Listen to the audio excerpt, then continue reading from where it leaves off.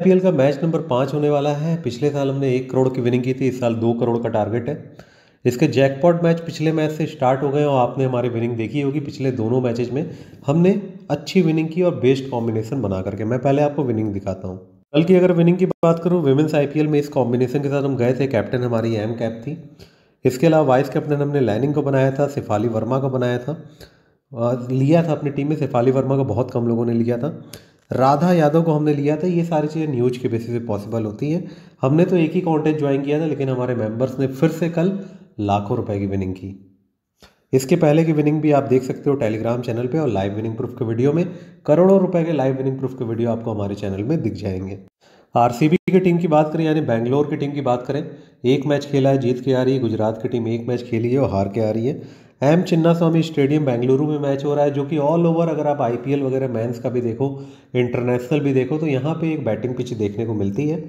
और यहाँ पे अभी तक चार मैचेज हुए हैं। बैटिंग सेकंड करने वाली टीम ने तीन मैच जीते हैं। बैटिंग फ़र्स्ट करने वाली टीम ने एक मैच जीते हैं। तो यहाँ जो मैचेज हुए हैं, तीन मैच का रिकॉर्ड यहाँ है और एक मैच कल हुआ था, ठीक है? तो पहले इन तीनों मैच को देख लेते हैं, फिर कल वाले मैच को भी देख लेते हैं। गुजरात ने 126 बनाया, मुंबई ने इसको चेस कर लिया पेसर ने ज़्यादा विकेट लिए स्पिनर को भी मिले। अब चूँकि विमेंस का मैच है तो स्पिनर को भी विकेट ज़रूर मिलेंगे हमेशा। आरसीबी ने बनाया एक सौ सत्तावन और दो रन से मात्र यूपी वुमेन हार गई थी जबकि चेस होना चाहिए था। यहाँ पे केवल स्पिनर को ही विकेट्स मिले पेसर को एक ही विकेट मिला।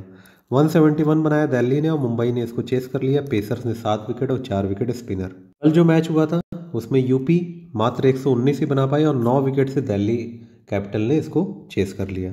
नौ विकेट गिरे उसमें किसने लिए? ये देख सकते हो, स्पिनर, राधा यादव स्पिनर हैं, चार विकेट लिए।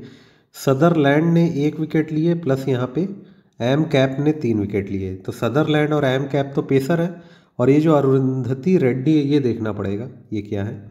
ये भी पेसर है, ठीक है? तो यहाँ पे पाँच विकेट लिया पेसर ने और चार विकेट स्पिनर ने लिया पहली इनिंग में। एंड इसके अलावा सेकेंड इनिंग में जो एक विकेट मिला था स्पिनर को एक्लिस्टोन को। अब यहाँ पे दोनों टीम का स्टैट्स देख लेते हैं। एस मेघना का अच्छा रिकॉर्ड है। एक ही मैच खेला है। उसमें तिरपन बनाया था। आपने देखा अभी इसी सीज़न बैथ मुनी ने पाँच मैच में दो सौ तिरालीस बनाया। रिसेंट फॉर्म अच्छी है। लॉरा विलवरेट की रिसेंट फॉर्म अच्छी है। रिचा घोष को गार्डनर ने पाँच बार चालीस बॉल में आउट किया है। बाकी अगर प्लेयर्स बैटल देखना है तो वो आपको यहाँ पे दिखेगा। कोई ज़्यादा नहीं है। मैं रीड करके बता देता हूँ। गार्डनर ने सोफी डिवाइन को पचास बॉल में तीन बार आउट किया है। लेकिन रन भी बहुत खाए हैं। एक सौ आठ रन बनाए हैं यहाँ पे गार्डनर के अगेंस्ट सोफी डिवाइन ने। ली तहू ने चौवन बॉल में दो बार आउट किया है सोफी डिवाइन को। गार्डनर ने स्मृति मंधाना को सत्तासी बॉल में तीन बार आउट किया है, पचहत्तर रन बनाए हैं। इसके अलावा गार्डनर और रिचा घोष का मैंने ऊपर ही आपको मेंशन कर दिया, रन यहाँ पे दिख रहा है, बावन रन भी बनाए हैं। इसके बाद आगे चलते हैं। सोफी डिवाइन ने 20 बॉल में दो बार आउट किया लिचफील्ड को, और मॉलिनेक्स ने 22 बॉल में दो बार आउट किया लिचफील्ड को, तेरह रन ही बना पाई है। तो ये दोनों काफ़ी अच्छा प्लेयर्स बैटल है, रन ज़्यादा नहीं बना पाई है टीम। वेयर हैम ने 18 बॉल में दो बार आउट किया है गार्डनर को और एंडी क्लैर्क ने तेईस बॉल में दो बार आउट किया है गार्डनर को। दोनों टीम का हेड टू हेड मुकाबला जो पिछले सीज़न दो मैच हुए थे वो आप देख सकते हो। ये इस मैच में आरसीबी ने 189 का टारगेट चेस किया। इस मैच में आरसीबी लगभग पहुँच गई थी 202 तक। लास्ट में जाकर ग्यारह रन से हारी थी तो दोनों में ही आरसीबी ने अच्छा किया। गुजरात ने भी अच्छा किया। यहाँ पे गुजरात की तरफ़ से वोल्वरेट ने अच्छा किया, गार्डनर है, मेघना ने अच्छा किया, सोफी डिवाइन ने लगभग सेंचुरी मारी थी एंड मंदाना ने अच्छा किया और एस पाटिल ने दो विकेट लिए। गुजरात की तरफ़ से 201 यहाँ बना 190 ही बना पाए यहाँ पे एच देओल ने सड़सठ बनाया, गार्डनर ने तीन विकेट लिया दोनों जगह गार्डनर का नाम आया, सोफी डिवाइन का दोनों जगह नाम आया, एस पाटिल का दोनों जगह नाम आया, एलिसा पैरी का यहाँ पे नाम आया, प्लस यहाँ पे रेणुका सिंह ठाकुर ने एक विकेट लिए। अब यहाँ पे प्लेइंग एलेवन देख लेते हैं दोनों टीम की। सोफी डिवाइन फ्लॉप हुई थी। बॉलिंग भी एक ही ओवर कराया था। आपको पता है वर्ल्ड क्लास प्लेयर है तो अच्छा कर सकती हैं। एस मैगना यहाँ पे फ्लॉप हुई थी। स्मृति मंधाना फ्लॉप हुई थी। एस मैगना ने तिरपन बनाए थे। तो स्मृति मंधाना ज़्यादातर देखा गया सेकंड बैटिंग करते हुए जब चेस करना होता है और लो स्कोर रहता है, तब वहाँ पे अपना दम दिखाती हैं। ऐसे ये फ्लॉप प्लेयर है, जबकि इनको बहुत सारे, सबसे ज़्यादा प्राइस में ख़रीदा गया था पिछले साल तो मैंने आपको बोला था कि बड़ी बड़ी प्लेयर्स हैं गार्डनर खेल रही हैं मैग्राथ खेल रही है और भी बहुत बड़े बड़े नाम हैं, उनको नहीं दे करके इनको इतने पैसे में खरीदने का कोई मतलब नहीं था। लेकिन होता है, अब यहाँ पे ये ज़्यादातर मैचेज में फ्लॉप रहेंगी, जिसमें लो स्कोरिंग होगा, कम टारगेट मिलेगा, उसमें अकेले पचासा मार देंगी। तो ऐसे प्लेयर बड़े मैच में नहीं चलते हैं। एस मेघना, उतनी कंसिस्टेंट नहीं है ग्रैंड लीग में ट्राई करना, भले ही तिरपन बनाया एलिसा पैरी हमेशा इंपॉर्टेंट रहेंगी, रिचा घोष कंसिस्टेंट प्लेयर है इंपॉर्टेंट है। वेयर हैम बहुत शानदार प्लेयर है बैटिंग भी अच्छी कर लेती हैं। मॉलिनेक्स बहुत अच्छी प्लेयर है एस पाटिल बहुत अच्छी प्लेयर है। इनको नहीं लेना है, आशा को पाँच विकेट ले लिया था आशा ने। तो आप चाहो तो ट्राई कर सकते हो स्पिनर है। तो लगातार कंसिस्टेंट भी दिख रही है, चाहो तो ट्राई कर सकते हो। हमने पिछले मैच में इनको लिया था न्यूज़ के बेसिस पे। रेणुका सिंह बॉलिंग बहुत अच्छी कराती है, रन भी कम देती है बट इनको विकेट कम मिलता है। यॉर्कर वगैरह फेंकती हैं स्टम्प टू स्टम्प फेंकती है। विकेट किनको ज़्यादा मिलता है? जो कि स्लोअर वंस का इस्तेमाल करते हैं। विकेट से दूर बॉल रखते हैं तो बड़ा शॉट मारने के चक्कर में कैचेज वगैरह होते हैं बैट्समैन तो उनको ज़्यादा विकेट्स मिल जाता है। बट इनको ज़्यादा विकेट्स नहीं मिलता, लेकिन कई बार जब अपने रिदम में आती हैं तो पाँच विकेट तीन विकेट दो विकेट ऐसे ले जाती हैं। तो बड़ी प्लेयर हैं इंडिया की इंटरनेशनल मैच खेलती हैं। आगे चलते हैं, कुछ बेंच पे प्लेयर हैं, यहाँ पे देख सकते हो कैथी क्रॉस भी अच्छी प्लेयर है एंडी क्लार्क भी अच्छी प्लेयर है, बाकी कोई खास प्लेयर है नहीं बेंच में। दूसरी टीम की बात करें, वेदा कृष्णमूर्ति को भूल के ही मत ले लेना टीम में, बहुत बेकार प्लेयर है। बैथ मुनी आपके लिए मस्ट पिक है एच देओल भी अच्छी प्लेयर है, कई बार इन्होंने काफ़ी अच्छी बैटिंग की है हेड टू हेड में भी एक जगह नाम आया था, शायद यही सिक्सटी सेवन है एंड बहुत अच्छी प्लेयर है बट उतनी कंसिस्टेंट नहीं है, इसलिए स्मॉल लीग में जगह नहीं बन पा रही है। लिचफील्ड भले ही लगातार फ्लॉप हो रही है, लेकिन ये आपके लिए मस्ट पिक है। बहुत अच्छी प्लेयर है हार्ड हिटिंग बैट्समैन है। पूरे डब्ल्यू बी बी एल में इन्होंने अच्छा परफॉर्मेंस किया इंटरनेशनल में भी अच्छा परफॉर्मेंस किया, अच्छी प्लेयर है। हेमलता को नहीं लेना है। गार्डनर तो कैप्टन की चॉइस है इंपॉर्टेंट है। के ब्राइस बहुत शानदार प्लेयर है, इनको लेके चलना है। इसके बाद यहाँ पे एस राना भी अच्छी प्लेयर है, भले ही लास्ट मैच में विकेट नहीं मिला।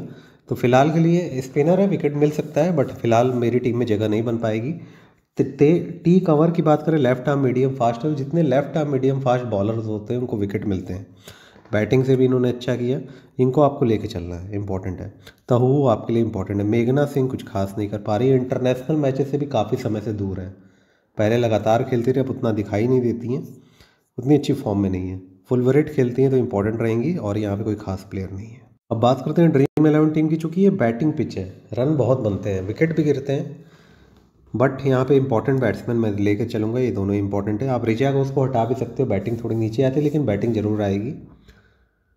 अच्छी प्लेयर है विकेट कीपिंग से पॉइंट देंगी। लिचफील्ड और मंदाना को मैंने लिया है। एस मेघना का सिलेक्शन ज़्यादा है हाफ़ सेंचुरी मारी थी ऐश देवल वगैरह बट लेना मत स्मॉल लीग में।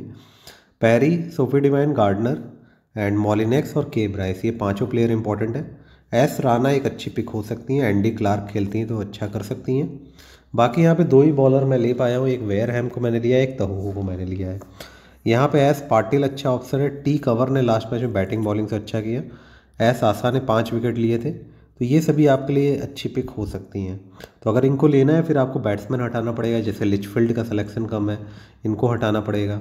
प्लस यहाँ पे आप किसी को मॉलिनेक्स को हटा सकते हो तो ये सब कर सकते हो अपने अकॉर्डिंग फिर आप टीम बनाना। मेरे अकॉर्डिंग ये सही कॉम्बिनेशन है।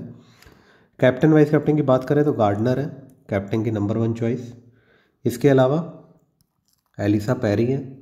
सोफ़ी डिवाइन कभी कभी तो बहुत बड़ा परफॉर्मेंस करती हैं। फिर अगले मैच में ही वो या तो बॉलिंग नहीं करती हैं, या तो बिल्कुल फ्लॉप हो जाती हैं। तो यही हाल है इनका। वैसे इन, ये भी कैप्टन की अच्छी चॉइस है।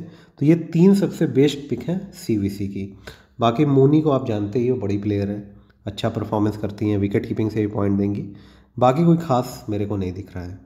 तो सब कुछ मैंने बता दिया। पेड मेंबरशिप की अगर मैं बात करूँ तो nine one four zero two double three four seven four ये हमारा व्हाट्सएप नंबर है।